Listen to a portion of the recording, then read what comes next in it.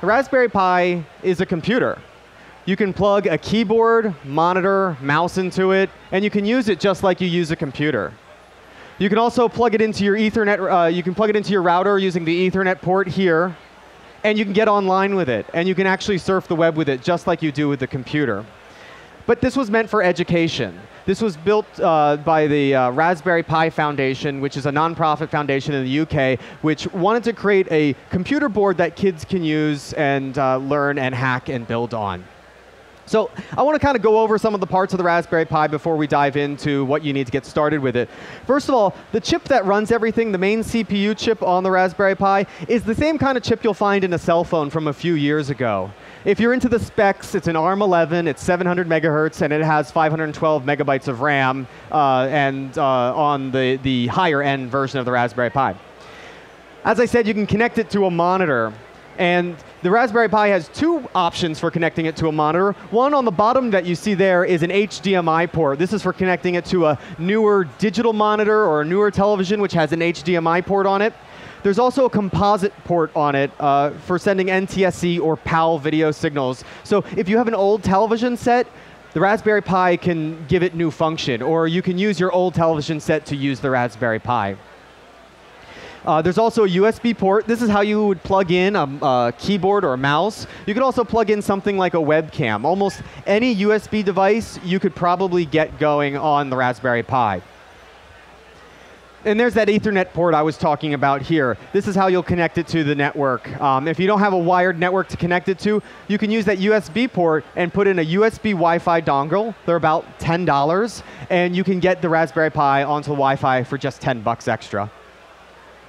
There's a little power jack on here. It looks like a, it, it's a little micro USB power jack, the kind you find on a lot of cell phones. It's only used for power though, so you just need a USB uh, A to um, uh, micro B cable to power the board through that little tiny jack there.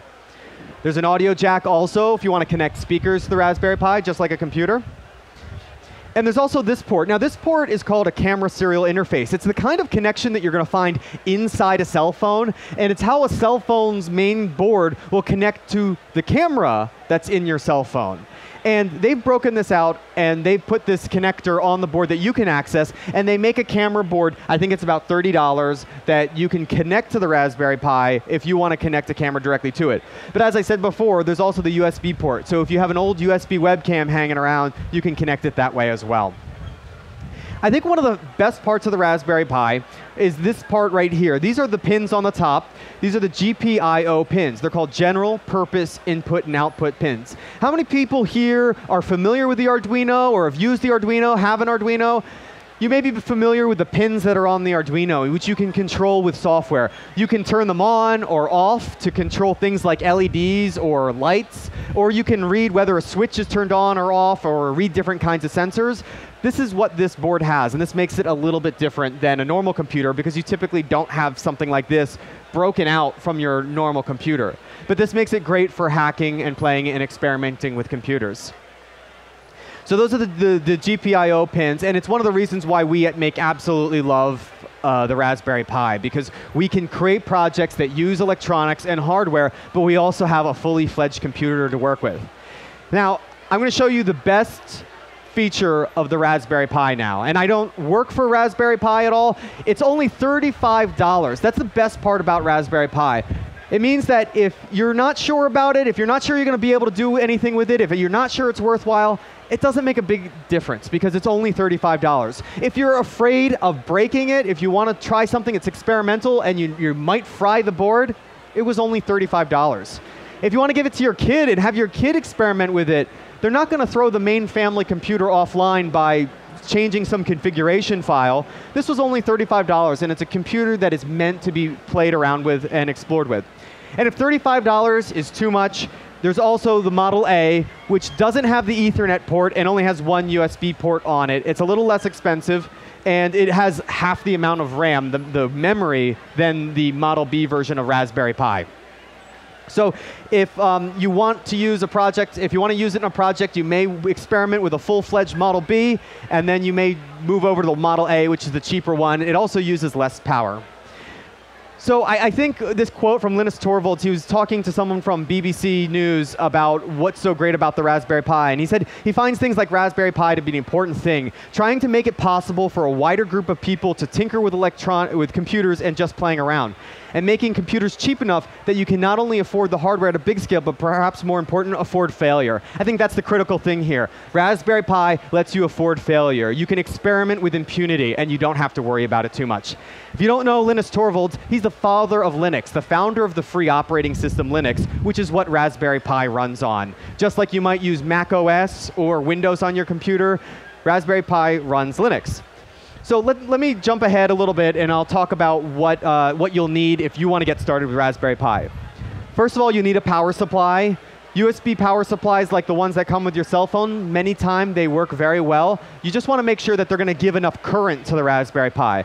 They must be 5 volts and they must provide about an amp or more, okay? If you have, if it comes through, it'll say current output you know, um, 1A or 1,000 milliamps, MA, you know you've got enough. It can go as low as 700 milliamps or 0.7 amps is probably enough, but uh, you just want to keep an eye out. Not all 5 volt adapters will provide enough power to it.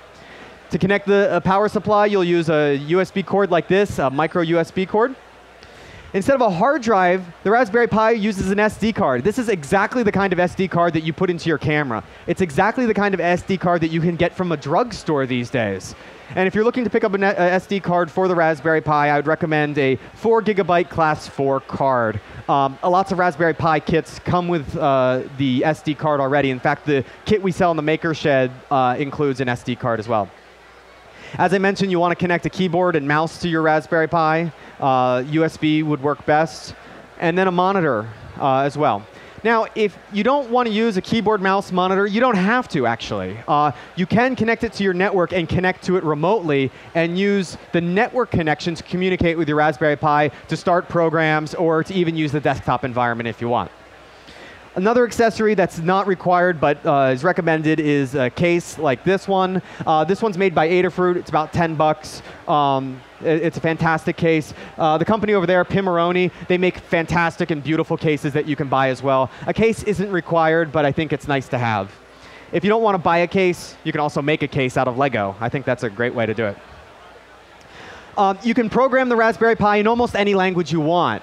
And what I'm showing here is Scratch, which is a visual programming language where you can drag and drop different components around to make animations and make games and so on. That's preloaded on the Raspberry Pi that you, so that you can build and create your own projects and functions just by drag and drop. If you know other programming languages like Python, C, Java, all those, you can, you can make your program on the Raspberry Pi with this. I want to show off a couple projects real fast here.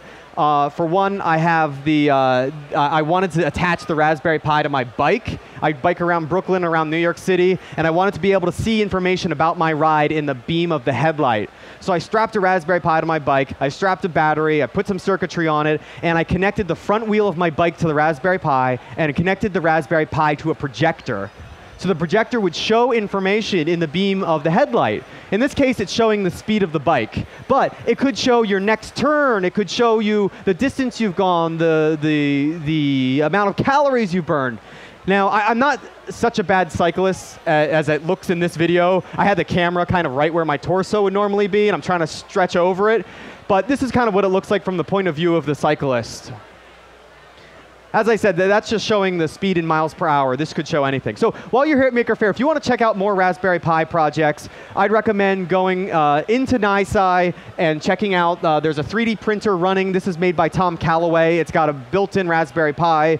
Um, also down in Zone A, in, inside NYSCI, there is a, um, uh, a hackerspace named NYC Resistor that made an incredible interactive game using Raspberry Pi, so you can check that out as well. Also right behind you, there's a musical Raspberry Pi uh, installation going on over there.